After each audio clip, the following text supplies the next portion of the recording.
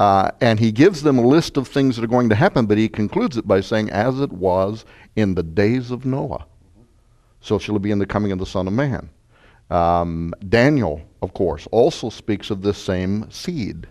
Yeah, as a matter of fact, and keep talking while I look that up because that's a fascinating uh, thought. In, in, Daniel chapter 2, uh, where, where Daniel uh, uh interprets Nebuchadnezzar's prophecy, and, and when he does, he comes up with the most interesting thing because he talks about that famous statue with a head of gold, you know, and going all the way down to the feet of clay.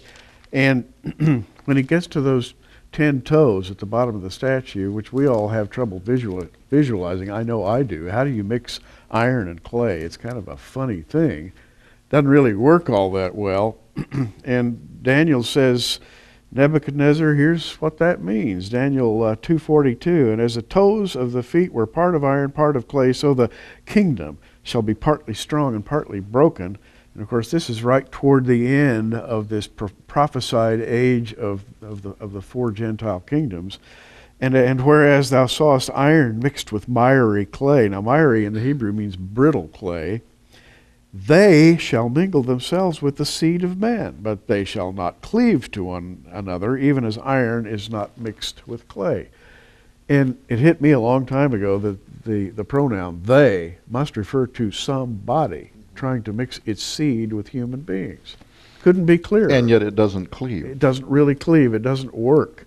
Why would this mysterious they want to be mingling their seed with the seed of man? Right. That's the question. And the, and the other unusual thing is if you go back to Genesis 3 again, uh, in, in the Proto-Evangelium where you have this opposition between the seed of the serpent. In both cases, you're talking about the word zera, which means offspring, progeny. I mean, this to me is one of the most fantastic parts of the study of Scripture. I love the study of Scripture anyway. There's so many amazing things. I mean, I think we would all encourage people to try to become as profoundly interested in the study of the deepest secrets of this book. This has the deepest secrets, much deeper than you know our current uh, sciences or cosmology or whatever. And and this idea that Satan could have seed, could have offspring. Does that take us back?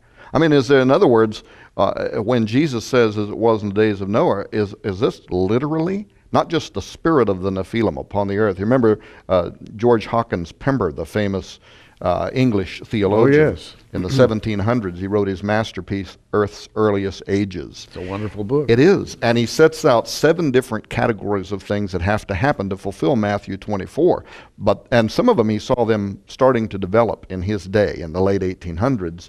But the final one, here's this magnificent theologian this saying that the most fearsome sign is how he called it um, that will herald the return of Christ will be the return upon earth of the Nephilim. This, uh, he refers to it as this unlawful offspring of angels and women. Might we call them aliens? I mean, if they came, and, and by the way, if they came down, so to speak, would they be coming from other worlds or other galaxies, or would they be coming from somewhere else? When the Nephilim first came, they didn't come from other uh, galaxies, as far as I know. They didn't come from other planets, right? Well, and what we think of of aliens now might not be coming from other galaxies or other planets either. And uh, I don't want to dominate the conversation, but this was this was one of the other things early on. And guys like L.A. Marzulli were a decade ahead of me on this. But my mind finally got wrapped around an issue that what I was seeing in the history of the Watchers, whether it was from Egyptian uh, belief with their gods mingling animals and humans and all that. Uh, the gods coming down, mating with women, the story out of the book of Enoch, the story out of the book of Jasher, which I think has one of the most single important ancient verses because it actually sounds like advanced biotechnology.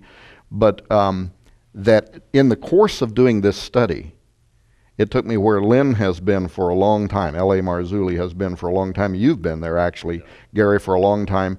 And that was there, was, there is a current, contemporary phenomenon that smacks of, of exactly what was happening in DNA harvesting in the ancient world. And it's recorded not just by theologians, but actually some of the best secular researchers into UFO are, are coming across the same phenomenon, harvesting. Now, LA, LA has written uh, a trilogy called the Nephilim Trilogy, and, and, and you've written a, a book called Alien Interviews. Uh, if you kind of synthesize all that, Tom just said that you, you kind of pioneered uh, study in this field.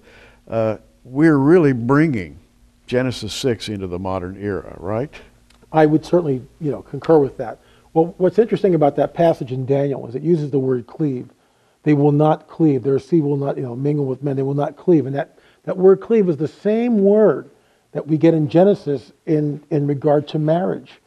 And what's interesting, and this takes a minute to set up, what we see in the so-called alien abduction scenario, we see, and this is just a thumbnail sketch of it, the women are taken, they're against their will, they're floated through walls, which is gets into some sort of another type of manipulating matter in physics in ways that we don't know. They're taken aboard a ship, they're impregnated somehow.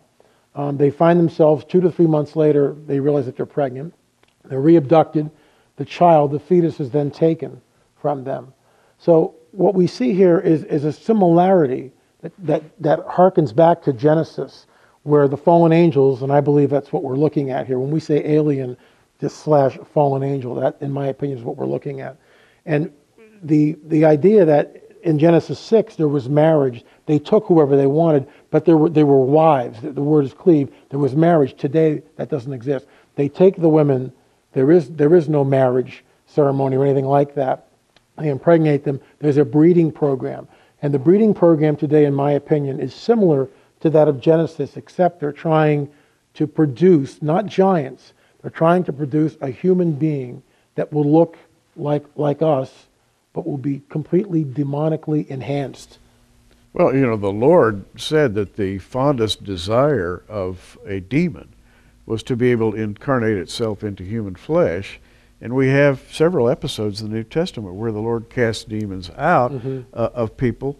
And essentially, he tells his disciples that the fondest desire of a demon is to be able to incarnate into flesh. So this ties in exactly to what you're saying. In other words, uh, if they can't use humans, they can hybridize another form of flesh and incarnate themselves into that. And- And we need to differentiate between fallen angels and Nephilim or demons. Okay. In my opinion, fallen angels are fallen angels.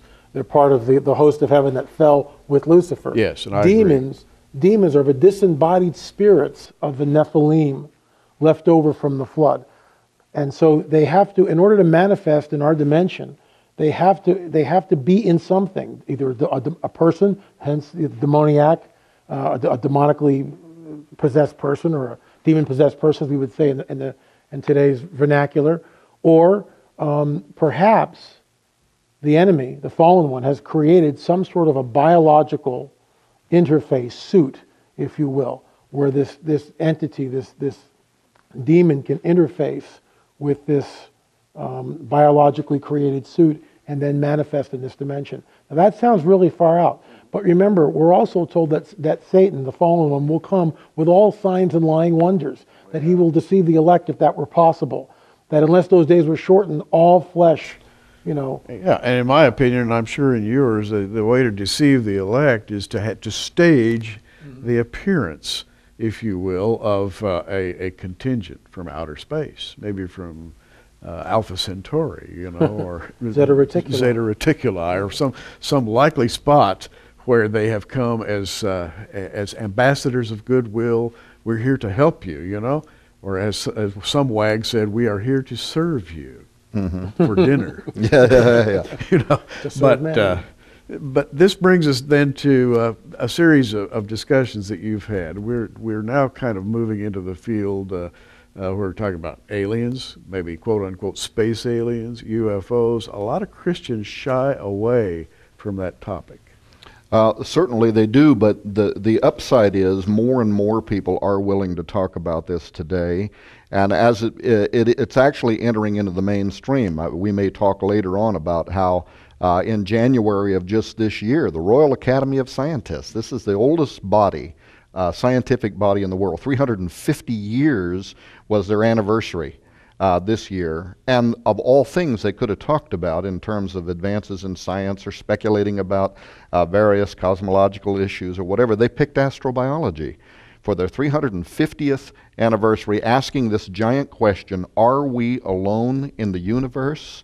And so it goes directly to the core of this question Are we alone? Are we being visited? Are we somehow being manipulated? And people should know that what Lynn Marzulli is talking about, among secular researchers, and the best of all of them, Dr. John Mack, Dr. John Keel, J. Allen Hynek, uh, Corso, his book The Day After Roswell, Jacques Vallée, the most respected researchers in the world on this subject, who did research to the point that it could have even been peer reviewed if there was such a thing of peer reviewing alien abduction.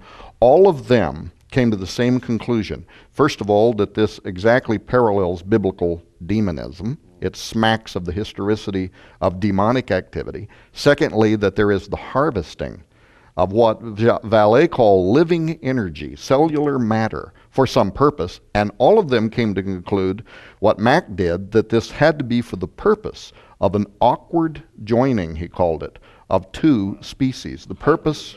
Well, it, it, the, the the movie, you know, that's uh, the series that's playing on television right now. V. They just raised the issue of this alien, half human, half reptilian. So, so it's even more specific, child, and we don't know yet where it's going in the series, but is this child going to be put forward as kind of a savior? That something that can bind the, the bond, the two sides, the reptilian side with the human? Are we being set up? Are we the being question. set up? Tom Horn, L.A. Marzulli, it's been fun and it's going to continue to be fun. Gary Stearman, uh, wishing you uh, all the best. Pray for JR, will you? And we are thinking about him constantly.